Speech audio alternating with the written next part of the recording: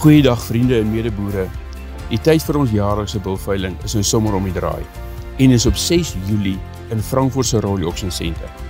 As jy nog nie 'n loyale Fortis Bosmara kliënt is nie, is hierdie verseker jou geleentheid om van ons 40 prestasiegetooste kommersiële Bosmara bulle te kom koop.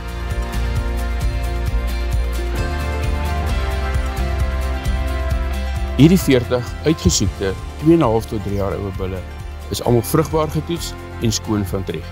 Die bulle is ook met bloed geënt teen Afrika en Asiatiese rooiwater.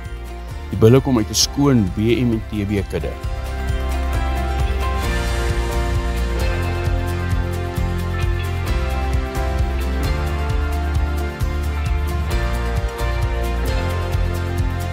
Ons nooi dan uit na hierdie Pyke Fortis Bonsmara bulveiling die 6de Julie in Frankfurt se Royal Auction Center om 11:00 die oggend. Dit gaan 'n fisiese en 'n aanlyn veiling gelyktydig wees.